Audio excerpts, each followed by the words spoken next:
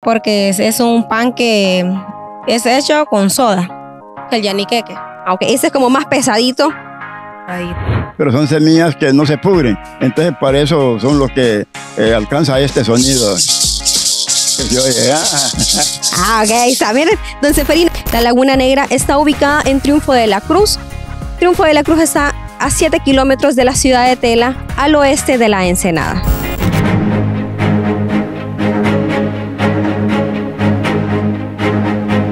Encontramos en esta ocasión en lo que es Triunfo de la Cruz, una comunidad muy conocida en lo que es nuestra bella ciudad de Tela y vamos a ver cuál es la gastronomía que más sobresale en lo que es esta comunidad. Vamos a ver cómo es el proceso del pan de coco, cómo lo elaboran, cuáles todos los materiales que utilizan y estamos en esta ocasión en lo que es la panadería La Lucha, para que ustedes puedan seguir el proceso con nosotros. Bueno amigos, estamos aquí donde el olor es tan rico que nos, pues, nos, va- nos vamos a contagiar para poder comer y probar un poquito lo que es el pan de coco. Tenemos lo que son los enrollados, tenemos el pan de banano, eh, esa que no sé cómo se llama, pero tiene un poquito de, de, de tableta, ¿verdad amiga? Y aquí nos encontramos con una de las personas que elaboran todo ese pan de coco. Amiga, ¿cómo está? Muy bien, ¿y usted? ¿Con, ¿Cuál es su nombre? Jenny. Jenny, cuéntenos un poquito cuáles son los panes que ustedes ofrecen a la comunidad y a la gente que pasa por aquí. Bueno, sí, nosotros ofrecemos encanelado, pan de coco, yaniqueques, tabletas, pan de guineo y pastelito de coco, casabe, gifiti y aceite de coco. De todo. Cuénteme ese, ¿cómo se llama? Que yo quiero saber por qué le pusieron ese nombre. ¿Por qué? Porque es, es un pan que es hecho con soda. Y estos es lo mismo, pero lo malo que es hecho con Fermipan, que es más liviano que es el yaniqueque. Aunque ese es como más pesadito, Radito. este se infla más. ¿Eso todo, todos los panes ustedes lo elaboran aquí? ¿Sí? Todo. ¿Desde qué horas comienzan el proceso ustedes de elaboración del pan de coco? Empezamos a las 4 de la madrugada, terminamos. Mira que ahorita que no hemos terminado nada. Sí, a las 4 de la madrugada empezamos. ¿Cuántos son los que elaboran aquí en esa panadería? Somos como prácticamente, somos 4 a 5 personas. Cuatro a cinco personas. Y más o menos la afluencia de gente, ¿cuánta gente pasa del, fuera de, de- de Honduras o fuera de la ciudad? ¿Gente extranjera? Para decirle eso que no tenemos contabilidad porque pasan varias gente, turistas, mucha gente pasa. Entonces no podemos estar así contando las personas, cuánto. y- sí. Entiendo. Más o menos, eh, ¿cuánto elaboran ustedes? ¿Cuánto pan de coco hacen para poder eh, cubrir toda la clientela en un día? Prácticamente 50 libras. 50 libras. ¿Y ustedes lo hacen todo a mano? Sí. ¿Quién es la encargada de amasar la harina? Cuéntenme. Ella ahorita no está aquí. Está ella. Y bueno, entonces vamos a ver si nos trasladamos para probar un poquito lo que es el pan de coco. Bueno amigos, nos encontramos aquí con Jenny todavía y nos trasladamos al lugar donde ellos empacan todo el pan de coco. Amiga, ¿cómo lo empacan ustedes? Eh, ¿Cuántos tienen que poner? ¿Qué cuesta esta bolsita? 50 la bolsa, amor. Yo le pongo otros tres más, ¿Eh, cuatro más. No. Solo así va. Sí. Solo así. Ok. Bueno, entonces vamos a ver si yo me atrevo. ¿Me dan chance de, de- de empacar unos cuantos? Sí, ahí está. Ya me lavé, me lavé las manos, aclaro, ¿verdad? Me lavé las manitos. Vamos a probar qué tan fácil lo hacen ellos. Ellos lo hacen ver súper fácil.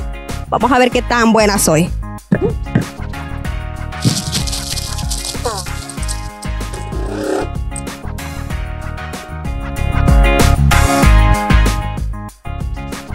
Estoy viendo cómo lo hace. Ajá. Ahí voy, ahí voy. Tres doritos más tarde.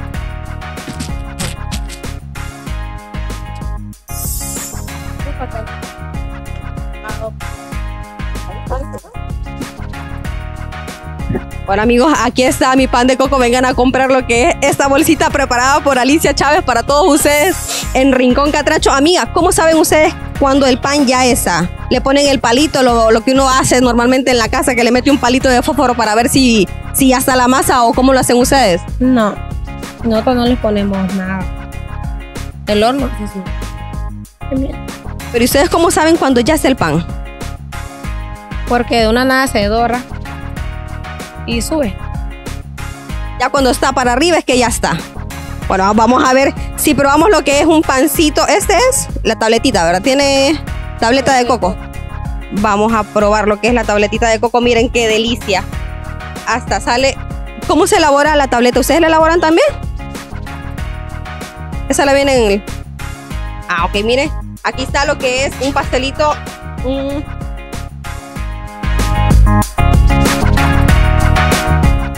Está riquísimo.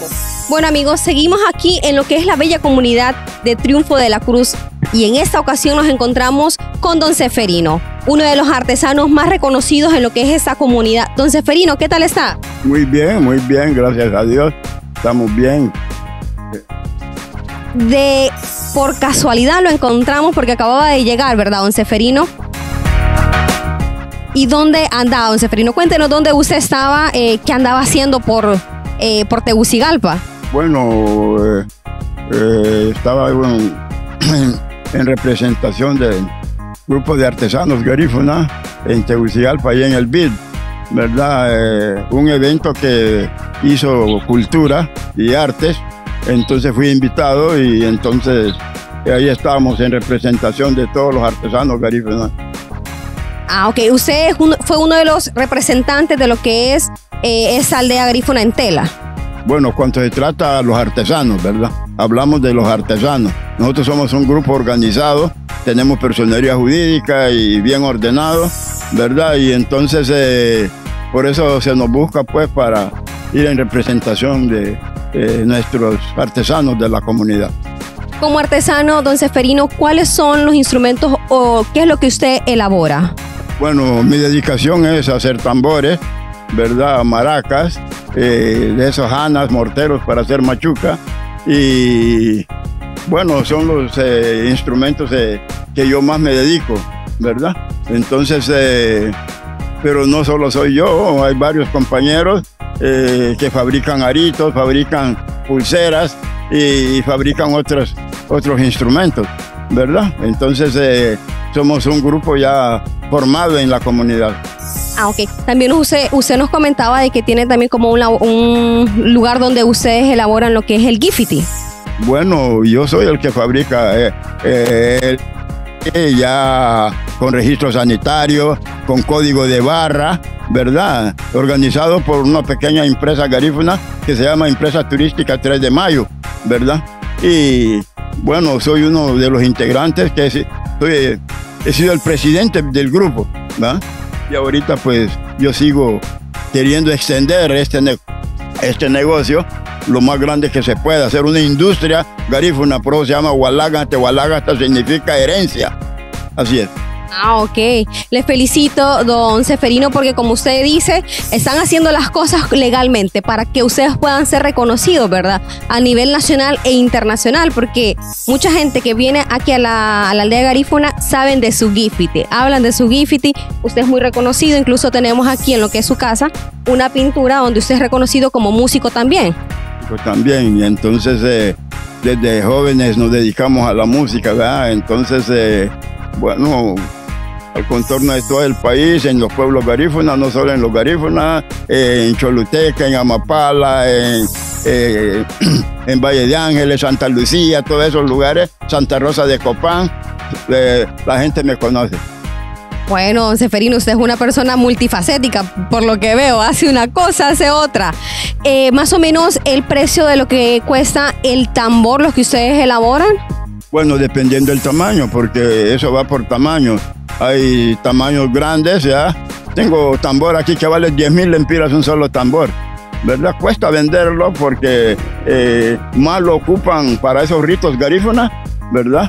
Que se llama el digú, que se llama el chugú, que se llama... Entonces para eso ocupan esos tamborones grandes que tengo aquí, ¿verdad? Entonces a veces cuesta venderlo. Pero también tenemos para los danceros, ¿verdad? Tambores que vale 6 mil lempiras el par. ¿verdad? Y tenemos maraca que vale 600 pesos el par. La diferencia entre el tambor de 10 mil y el otro de 6 mil es más que todo el material o la función, la función que, que tiene ese tambor. Eh, quiero decirle el tamaño, el tamaño y la escarbada es más difícil y tarda más, ¿verdad? Y precisamente y también va, va contando con la madera, porque cuando la madera es de caoba, madera es de San Juan, madera es de laurel, madera es de Santa María y de todos esos tipos de palos hay diferencia en precios. La caoba es la más cara y el cedro. Ah, ok, entendemos entonces. Don Seferino, ¿dónde lo pueden encontrar la gente que viene de afuera de nuestra ciudad, eh, aquí en la ciudad, para que usted le dé la dirección para que lo puedan encontrar y poder obtener todas las los, los instrumentos que usted tiene? Bueno, la verdad es de que en toda esta comunidad del Triunfo de la Cruz se me conoce, lo mismo que en Tela. Si vas a la municipalidad, pregunta por Seferino, todo el mundo le va a decir dónde está, ¿verdad? Y si ya pasa, acaba de pasar, ahí va, ahí va ahorita, el negro ese, te van a decir. Y entonces ya somos conocidos y, y luego pues este es el sitio donde yo vivo, donde estoy formando mi taller y quiero mejorarlo y hacerlo lo más grande posible. Lo mismo que la fábrica del Gifty, queremos mejorarla para poder exportar. Ya tenemos licencia sanitaria, tenemos registro de marca y también tenemos código de barra. Pero hay algunos porque los negocios han estado bastante lentos y con algunos problemas con la SAR y que hay que resolverlo. Son las vueltas que estoy haciendo en Tegucigalpa. Ah, ok. Don Seferino, eh, invite a toda la población para que pueda seguirlo, para que pueda buscarlo y que usted haga énfasis de toda la cultura que ustedes tienen, la bella cultura que ustedes tienen aquí en lo que es la bella comunidad de Triunfo de la Cruz. Invite a toda esa población. Ah, Bueno, cuanto a la invitación, en primer lugar para todo mi pueblo, porque hablo bien el garífuna, ¿verdad? Un sun garino guha ariba na gamba hamana ni muti hariha na ni muti gamba na eh gumbira hanu muti lo wonderu porque ha wondera wachawa raba solo gurudu entonces wachili dice entonces liyeti un sun garino alumbe harihi na luha gambu ni na aluha ma lo wonderu porque wondera hereti ma badio Ahí está, amigos. Ahí escuchamos a Don Seferino hablándonos a toda la comunidad garífuna. Don Seferino, diga, aquí los esperamos en Rincón Catracho, en Garífuna. Eh, bueno, entonces, eh, agora vamos bueno, en Garífuna, En Garífuna. En Garífuna. agora vamos muito ya Canarugo, uh, Luliligário, Leora Hachiluru, Vereshi Biruba, Daragulu Waha Baba.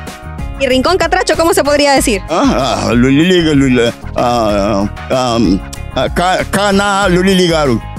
Ahí está, bueno, ahí está. Ah, Por la propia boca de nuestro amigo Don Seferino. Así que, bueno amigos, hoy les vamos a mostrar todo lo que es el procedimiento para poder hacer una maraca. Comenzamos con lo que es una jícara. Esta es una jícara, esta está en su estado normal o en su estado natural, donde eh, tiene un proceso que Don Seferino nos va a comentar cómo es el proceso completo para llegar a formar lo que son estas bellas maracas que podemos nosotros escuchar en esos bailes que distinguen mucho lo que es la, eh, la aldea garífunas eh, con sus respectivas canciones, música. Don Seferino, cuéntenos cuál es el proceso que usted elabora de esta jícara a esta maraca. Bueno, la verdad es de que hay que perforarla, ¿verdad? Y luego sacarles el sucio que tiene adentro. Y una vez sacado el sucio que tiene adentro, entonces se pone a secar y luego pues se consiguen unas semillitas que vienen de la montaña, que uno eh, es el mm, platanillo, semilla de platanillo, el otro es un- son unas semillas que se dan aquí en las orillas de las lagunas, Río Plátano y todos estos lados, son semillas rojas y otras que son, son negras, pero son semillas que no se pudren, entonces para eso son los que eh, alcanza este sonido. Oye, ah. Ok. Don Seferino, ¿cuánto tiempo usted pone a secar la jícara para que esté en ese estado? Eh, Bueno, cuando hay sol, en dos días está bien seco todo y eh, ya, ya se empieza a formar, pero para escarbarla también depende de la cantidad y, también coge otro tiempito porque cuesta sacarle eh, lo que tiene adentro. Entonces una vez ya sacado lo que tiene adentro se pone a secar y ahí se buscan los palitos que son los que llevan para agarrarlo para que suene y ahí se le echan las semillitas y ya, ya se formó está la maraca, ¿verdad? Algo eh, eh, que acompaña eh, la percusión. Más o menos, aproximadamente, ¿cuántos son los días eh, que se tarda usted en elaborar por completo una maraca? Bueno, los dos días, ¿verdad? No solo una, ya. en dos días se forman lo que son los palitos, se forma la escarbada y se le echa la semilla y se espera que se seque para que pueda utilizarla. Ah, ok. Don Seferino, ¿es, ¿las maracas es un instrumento nativo de ustedes de la aldea garífuna? Bueno, claro, de que esto eh, lo trae consigo el pueblo garífuna desde su venida, desde eh, la estadía en San Vicente, que llegaron los africanos y se mezclaron eh, esas dos razas, tres razas allí, el indio rabarabaca, el indio caribe y más el africano, que traía también su cultura. Entonces de ahí se formó el garífuna. Ah, ok. Viene este conocimiento. Además de lo que es las maracas, también tenemos lo que es otro instrumento que es muy reconocido en lo que son sus bailes, su música, que son los tambores. Cuénteme de los tambores, don, don Seferino, cómo lo elaboran, cuáles son los materiales que ustedes utilizan. Ahí, ahí está, miren.